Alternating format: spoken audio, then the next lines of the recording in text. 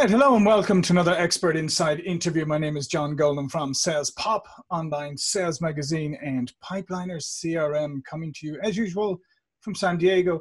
And today I'm joined by David Jenyns, who is another favorite city of mine in Melbourne, Australia. Hey, John, how are you? Fantastic to join you on the other side of the pond or maybe maybe previously one of my favorite cities because I think if you went there right now, um, you'd be locked up in wouldn't you, in a hotel for at least fourteen month or uh, days or a month or something. You guys are in a pretty strict lockdown. It's uh, yeah, definitely. Uh, I'm glad I've been working virtual for a while now, yeah. so it, yes. it's not too dissimilar for me because I'm I'm used to working online. Okay, and David uh, runs, he's the founder and CEO of uh, Systemology and the author of the book systemology create time reduce errors and scale your profits with proven business systems and actually just like to start off um, david there's there's a very solid reason why you got interested in in systems and efficiency in the first place right if you want to just yes. explain that yeah, the biggest thing that was my turning point because I've been involved in a lot of different businesses, but my mm. last business, the digital agency, I got stuck in it for about 10 years, just working in the operations of it. And for some reason, I didn't think I could systemize that business. I thought that business was different. And then I found out we were pregnant, and I thought, oh, I don't want to be working 70 hour weeks and working on the weekends and the mornings and just not having enough time to really be present as the kids grew up. So that's when I thought, right, well, I know systems and processes are the way. I know mm. it is the only way to build a business that works without me. And I know other people have done it. So why can't I do it? And, and I realized there were just a, a bunch of roadblocks and baggage that I was holding on to that just wasn't true about business systems. Mm-hmm.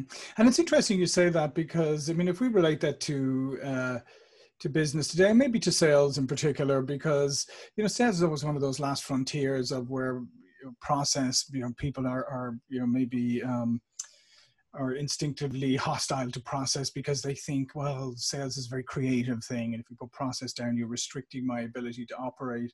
But I always think that that's exactly the wrong way to look at process.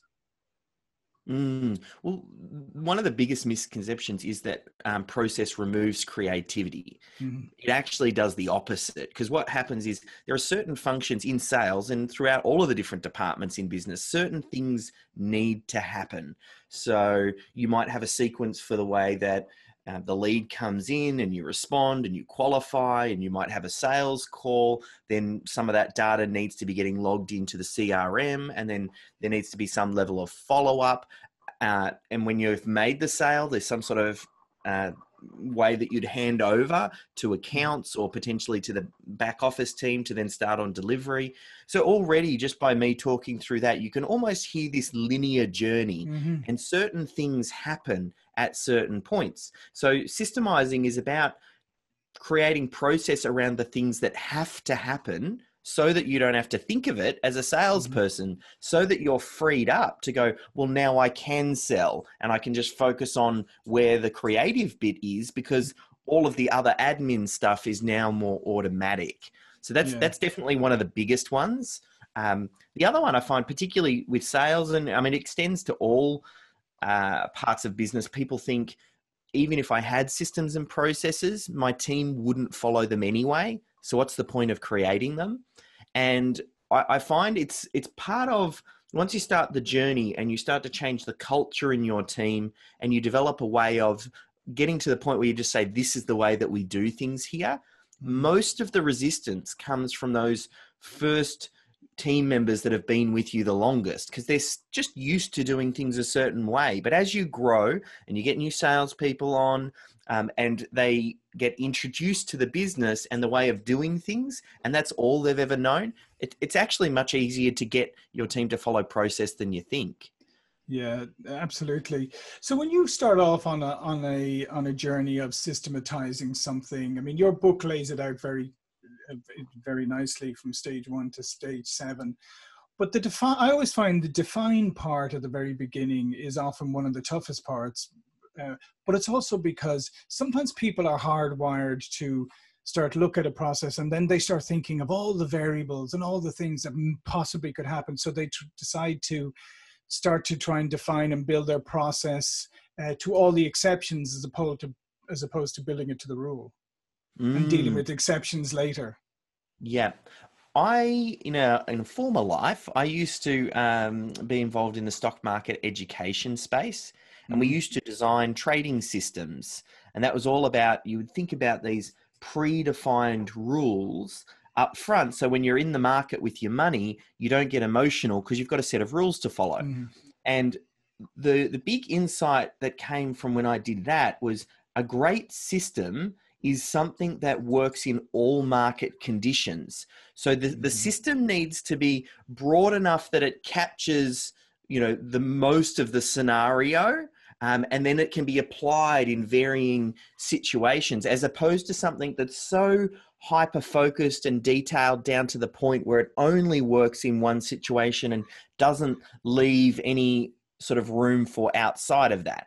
Now, I'm a, I'm a big fan of having you know, especially as you first start in systems, having good systems and great people, um, rather than having great systems and good people. Like, because a a great person with a system that gives them guide rails and you know mm. rough framework to follow will get a significantly better outcome.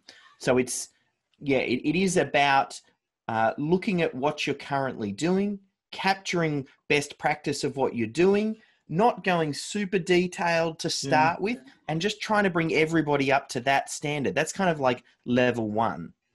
Yeah and i think that's i think that's a it's a good way to put it because as i said i think people people want to go to solution mode immediately and they want to build out these things and they they become uh, you know uncontrollable very fast.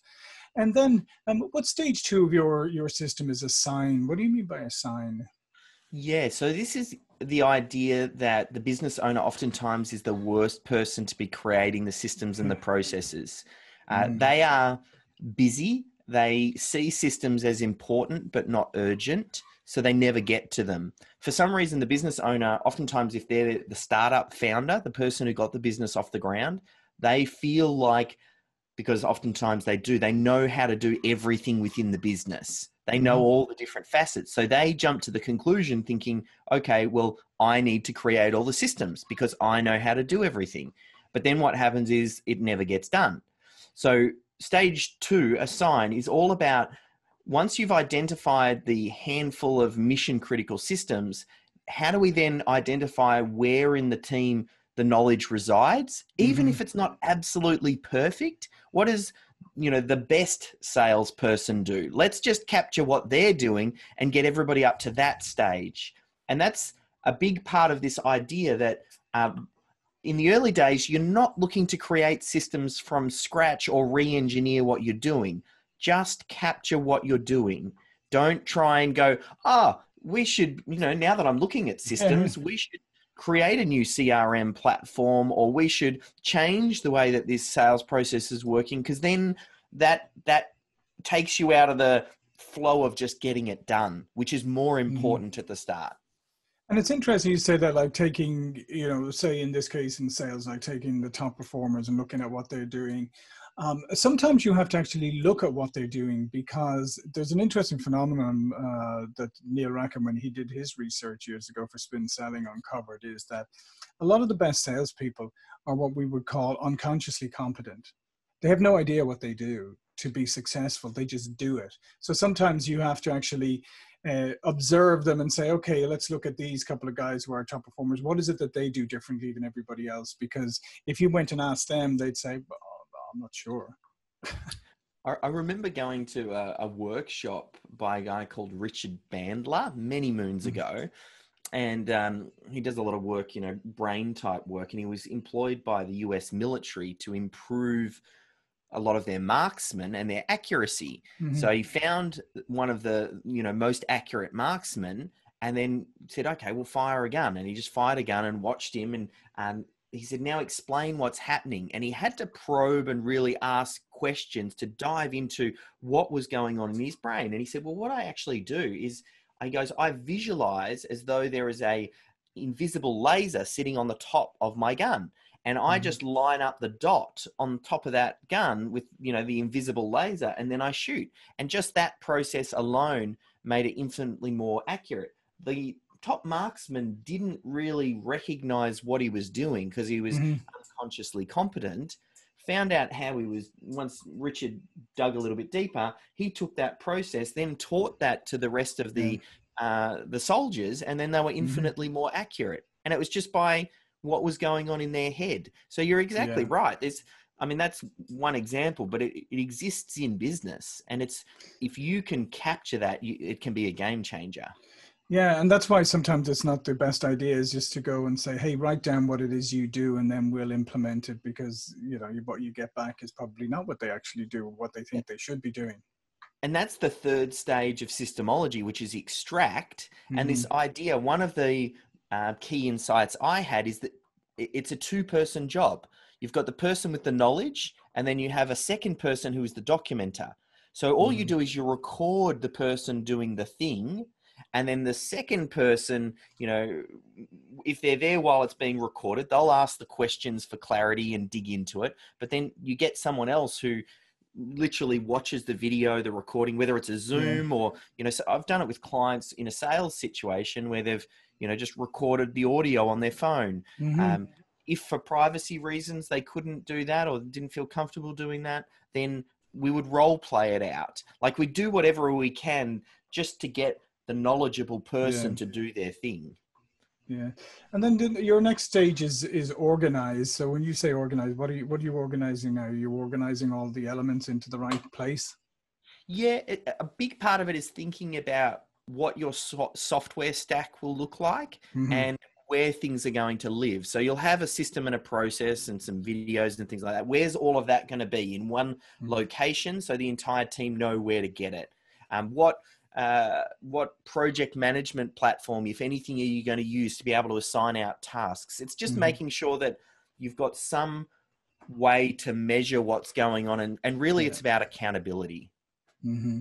And then the integrate part is obviously very uh, critical because number one, I mean, integration takes on a lot of different uh, different guises. I mean, number one, it, it needs to be integrated into their daily work practice, otherwise it's not going to work. And if you have a system, you know, say like a CRM like ours, it needs to be, you know, you probably want it to integrate with some of the other systems you have. So all the process flows, the systems are all working together efficiently. Yeah, and um, in the book, I, I, talk a lot about uh, integration, specifically also around the staff, like because yeah. because you you want the buy-in for them. You want to integrate this systems culture with the way that they do things, and you want to have them buy into the process early, be involved in the development of the systems and the processes, because people oftentimes support what it is that they help to create, and you want to learn how to handle some of the resistance because all of the resistance from building a systemized business comes up front uh, and then that's oftentimes why people abandon it but all mm. of the, mm. the benefit of the systemization actually happens once you get over that hump but most people never get over the hump um, so it's yeah a big a big part of understanding what those resistance is seeing how that you present it seeing how you get the buy-in uh, and making it part of the way that you do things. The, the good thing is with right now, the way the pandemic is happening, yeah. everybody's very open to change. So now is the perfect time to be looking at systemizing your business. Yeah, and, and we've certainly seen that is that uh, there was a lot of there was a lot of lip service being played to, to paid rather to digital processes, and people were going, yeah, yeah, we need to have our digital digital processes in place. But you know, when when times are good, it's very easy to ignore and paper over the cracks, and you know, we're very tolerant of inefficiencies when everything is great. Uh, but then when the pandemic hit, then people realized, okay, now I really need to get my digital processes in place uh, and the ones who are able to do some of that quickly are doing okay. The ones who weren't are, are struggling, you know, mightily right now. And the next stage you say here is is scale. So yes, you have to, you your your the process and systems that you build have to be able to scale with your business. Yeah, and I think of it one of the very first stages um, define. We talk about identifying the mission critical systems what are the mm-hmm. 10 to 15 systems that you, you get started on first because you know it's that that uh, metaphor people use how do you eat an elephant one bite at a time so yeah. you've got to first start somewhere once you move into the scale stage though you have to think about what are the other systems required for scale? You'll need mm-hmm. to have mm-hmm. systems around um, recruitment and onboarding of staff and management. You'll need some finance systems. You want some deeper systems around sales. You, you know, some systems for maybe sales managers and how do you set forecasts and targets and things like that. And and what does your management systems look like? How often are you meeting and what's discussed? And you know, when, mm when you do have a sales meeting, what does that agenda look like? So it's identifying in scale, it's about what are the other systems that are required to, to scale your organization. And that's really what I focus in on there. Yeah, and then um, and then the last stage is optimizing, and I think this is an interesting one, right? It's obviously when you roll out a new system, you don't know how it's really going to work until it works, right? Until you put it into play, because you know, as human beings, we're great at doing things that nobody ever expected us to do or yeah. inputting. But the other part too is and i think this is sometimes difficult for, for, for, people is they think there's always an end point like this is a project you've you've done your system and it's done but you have to continuously optimize. It's like sales process. A lot of people will put a sales process in place and they think that's it i've done the sales process now. We can move on to something else and that'll sit there for the next three or four years. Well guess what? Buying behavior changes things change the mark i mean nowadays you know so all of these things have to have a certain level of dynamism Yes, and you hit on some real key points there. Um, one of the first things I do is by design in the process, we leave optimized to last. Because mm-hmm. what a mm-hmm. lot of people try and do is they do it up front when they're creating the system. But the problem is they that gets in the way of them getting it done. They look mm-hmm. for perfection. And it's very common for people when, you know, when I say um, a well systemized business, what's the first business that comes to mind when I say, what is a systems business? What business comes to mind? I'd say Amazon. Yep, Amazon. Um, the other one I see oftentimes people think all the fast food chains, sure, yeah, uh, yeah. franchises, and uh, McDonald's oftentimes mm-hmm. comes up. And, and when yeah. people think about uh, McDonald's, oftentimes if you've known anything about their systems, they have so many systems and everything is detailed, every facet of their business down to the nth degree, so they can hire a 15 year old who can step in and do it. Yeah, now, yeah, yeah. If people think that's what a systemized business looks like, and then they think about their own business and they try and make systems like McDonald's or Amazon does, but uh-huh. Amazon Amazon is a behemoth that has been doing this for so many years and they've perfected their systems and their processes. If you try and systemize like Amazon is today, mm-hmm. you'll fail. If you systemize like Amazon did when it first got started 20 years ago or whatever it was, that that's the mindset that you need to be. Amazon mm-hmm. didn't start with these amazing perfect systems. They started with something clunky and then they evolved and like you said, it became part of the process and it was mm-hmm. an iterative process. So that's probably the the big takeaway of leave optimizing to last, make it part of the way that you do things and yeah, systemize like Amazon, which is how Amazon was, not how mm-hmm. Amazon mm-hmm. is now. Yeah, exactly. And then make sure you have a culture of continuous improvement and revisiting all the time to make sure that you um, that you continue to move it forward. Um, so this has been great, David. I mean, I think this is great insights for, for people listening in. Um, all of David's information will be available in his contributor bio below. But before we go, David, do tell people a little bit more about yourself and what your company does. Yes, so uh, the book is probably my biggest contribution to this space, mm-hmm. and it uh, it outlines the system for systemizing a business. I feel like a lot of the work that's been produced to date, things like the E Myth, Traction, Scaling Up, mm-hmm. uh, all of those books, they build a case for systems, but they don't really say how do you do it? Where do you get started? What is the first system? And that's what systemology is all about. So mm-hmm. we have obviously the book, and I've got some do it yourself type courses. We have programs, and at the moment we're uh, training up our our first group of what we call systemologists. So I'm teaching a group of people who understand how to deploy systemology in businesses, and then they work with business owners to really uh, extract that knowledge and get it down for their team. So that's a, yeah, what we do over at Systemology.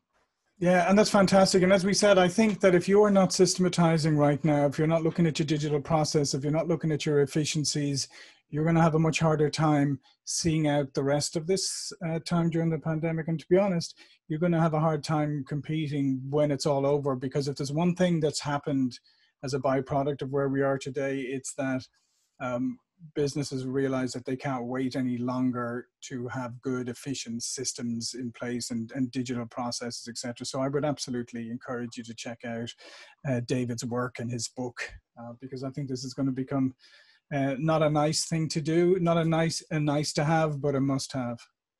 Yeah yeah and i think you're right. It almost feels like with this current climate um, i remember people saying yeah you only find out when people are swimming naked when the tide goes yeah, out. Exactly. And it feels like the tide has just gone out and people's businesses, they're shaky. Systems makes your business strong. So you've got to go to work on them.